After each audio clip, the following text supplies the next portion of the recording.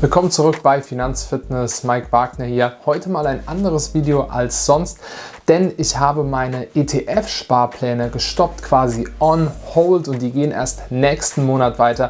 Warum habe ich das gemacht? Ich habe die Quartalszahlen von Amazon gesehen und habe gesehen, dass Amazon um 37 Prozent den Umsatz steigern konnte. Und das finde ich absolut überragend.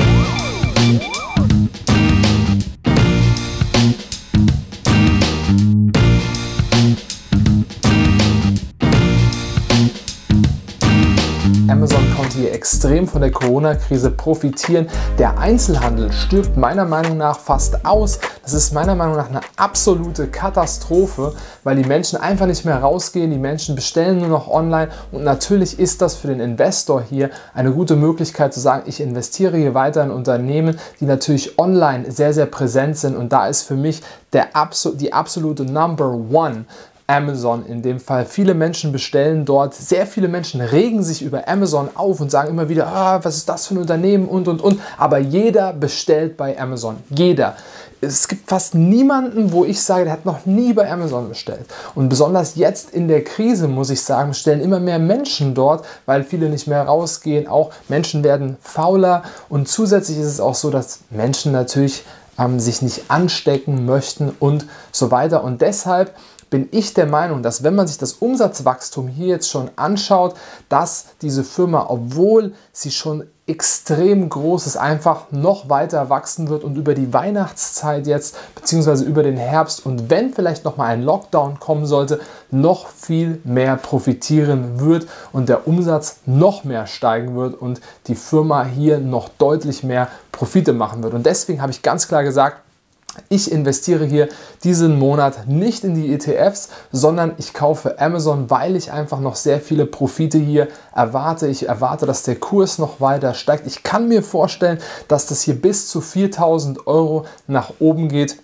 Ich weiß es nicht ganz genau, ich kann das natürlich nicht sagen. Der Umsatz ist jetzt gestiegen auf über 96 Milliarden Dollar und das ist ein absoluter Knaller. Zusätzlich habe ich natürlich meine Einzelaktiensparpläne immer weiterlaufen bei der Comdirect und auch bei Trade Republic. Bei Trade Republic bin ich eher auf Dividendenbasis, habe ich eher so 10 bis 30 Euro Sparpläne auf einzelne Aktien laufen und bei der Comdirect habe ich eher Tech-Giganten, größere Tech-Firmen ähm, in den Sparplänen drin. Apple habe ich etwas runtergewichtet, weil es sieht fast für mich schon aus, als wäre das eher ein Value-Tech-Unternehmen momentan, weil die Gewinne sind nicht mehr ganz so stark, obwohl ähm, man das, ja, das größte Unternehmen hat, was es hier gibt. Viele sagen vielleicht, wie kann denn diese Firma hier überhaupt noch weiter wachsen? Aber man muss das weiter beobachten. Ich habe einen relativ niedrigen Sparplan immer noch weiter auf Apple hier laufen, aber Facebook ist mein Sparplan etwas höher. Jetzt sind deshalb die größten Positionen, die ich bei mir im Portfolio habe. Amazon ist die Nummer 1 und auch Facebook ist die Nummer 2 und danach kommen einzelne Unternehmen immer weiter runter, auf die ich ähm, monatlich so meine 10 bis 60 Euro Sparpläne laufen habe. Immer noch bin ich ein Fan von Tesla. Ich sage es immer wieder und es wisst ihr auch, dass ich in Tesla eben investiere, weil ich zukünftig denke. Ich muss aber ganz klar sagen, das ist jetzt von mir für euch keine Anlageberatung, nur weil ich diesen Monat hier Amazon gekauft habe. Ich glaube, ich habe gekauft für knapp 2550 Euro in dem Fall. Und ich erhoffe mir, dass es hier noch weiter nach oben geht. Ich habe zwischenzeitlich immer mal wieder geguckt. Es ist ja ein bisschen ähm, ja, wieder runtergegangen und dann habe ich natürlich hier eingekauft. Auch Facebook ist etwas runtergegangen, die Aktie. Ich kaufe jetzt hier wieder im Sparplan immer weiter, weil die Nutzerzahlen bei Facebook sind beispielsweise etwas in Kanada und den USA zurückgegangen, obwohl hier trotzdem Profite gemacht wurden. Trotz alledem, ich investiere weiter. Ich glaube an die Firma. Ich glaube, Mark Zuckerberg macht einen extremen Job. Er kommt aus jeder Krise raus.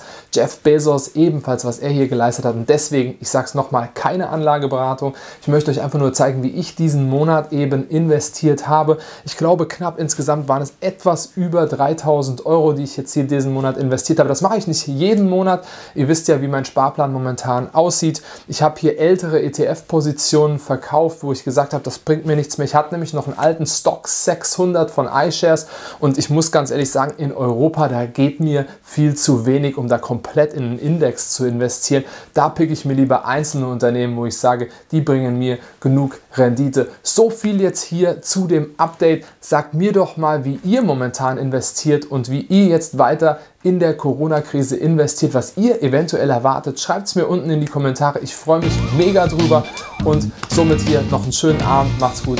Ciao.